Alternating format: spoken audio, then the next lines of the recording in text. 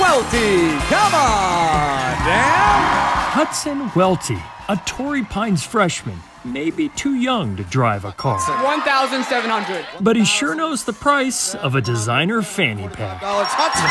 Get up there. Hudson also knows how much to pay for a padlock. Uh, does the price start with a nine or end with a zero? And with a zero. Ends with a zero. It is.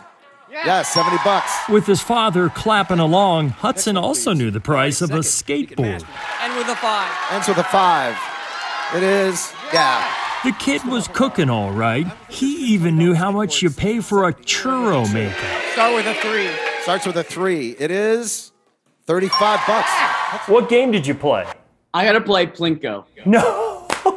The most iconic Price is Right game. Go gather up your chips. It's always a good idea to take lots of chips to a party, especially when you're playing Plinko. And Hudson had five of them. Here comes the first one. 10,000 in the middle. $500. Insane. So epic. Hudson was just getting warmed up because a couple of chips later, the big one. I dropped the fourth chip. Stay going down. It's going near the 10,000. The crowd starts going crazy. $10,000.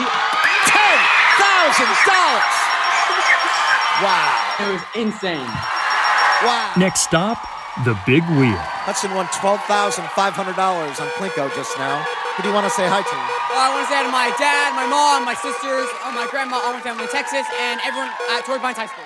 Hudson didn't make it to the showcase showdown, This is my name tag from the show. but the teenager studying business to someday become an investor Well, it sounds like you got a little seed money to get started. yeah, yeah, exactly. 10,000 right in the center. plans on taking some of his winnings on a San Diego spin. I might put some of it into like a car, you know?